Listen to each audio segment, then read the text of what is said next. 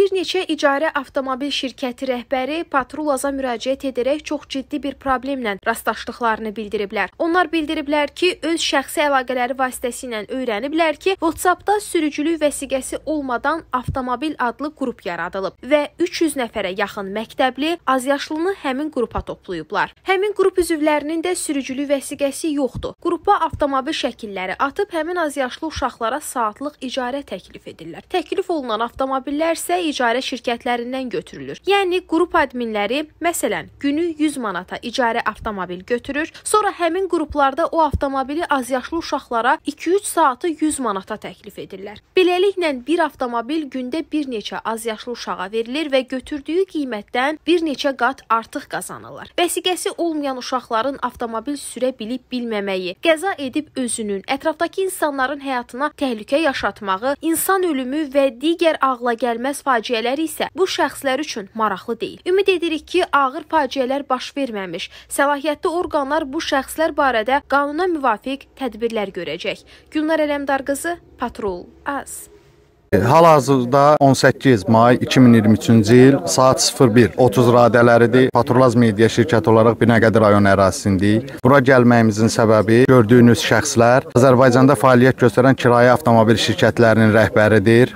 Demək bu şəxslərin bura toplaşmasının, gecənin bu saatında toplaşmasının səbəbi kirayə avtomobil şirkəti sektorunda olan problemdir ki, bir neçə nəfər şəxs peyda olub ki, bunlar kirayə avtomobil şirkətlərindən öz adlarına avtomobili götürüb götürüb az yaşlı sürücülük vəsiqəsi olmayan gənclərə verirlər. Bunlar da bu əməlləri ilə həm o gəncləri, həm də ki digər vətəndaşları təhlükə altına atırlar. Gəlin məsələnin təfərrüatın elə şirkət rəhbərlərinin öz dilindən dinləyək. Bu hal-hazırda qlobal məsələdir. Bu sahibkarlardır bu dəqiqə hal-hazırda bura yığışanlar gecə saat 1-dir.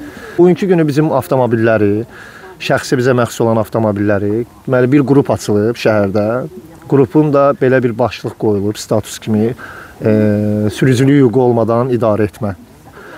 14-15 yaşında uşaqlar 250 nəfərə yaxın 14-15 yaşında uşaqlar qrupda cəmləşiblər və 2-3 nəfər admin var. Birinin adı Müşfiqdir. Birinin adı Səxavət, e, Səxavət olmalıdır. Hə, Səxavətdir. Nəysə bir sözlə belə deyək.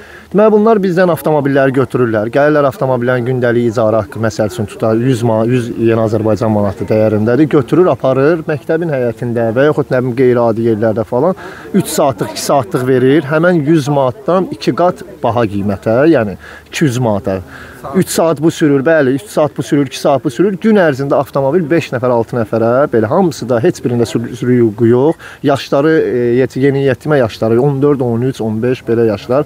E, yadınıza gəlsə bu yaxınlarda da bir faktımız oldu bizim Range Rover markalı avtomobil. İndi də bu gecə vaxtı hamımız yığılmışıq. Eyni faktı ta, e, faktı aşkarlamışıq. Baxın orada BMW markalı avtomobil yanıb, F10.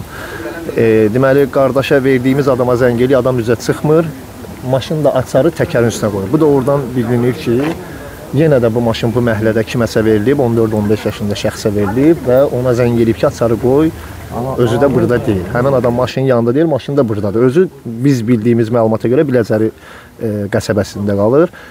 Bu günlərdə qrup əlimizə keçib bir qrup. Yəni o qrupda yenə də 260 nəfər adam var və bu günləri rentakardan götürülən avtomobil o qrupda yəni boş avtomobil boşdur. Belə bir adlıq başlığı altında e, atılıb e, həmən qrupa ki, həmən uşaqlar görsün ki, bu boşdur. Yəni bunu saata buraxsın. İndi bax biz bunu aşkarlamışıq, gəlmişik özümüz bura. İndi qalan nədirsə biz e, yəni ancaq fikrimizi deyə bilərik. Qanun nədirsə, qanun tərəfindən inşallah özü öz həllini tapar.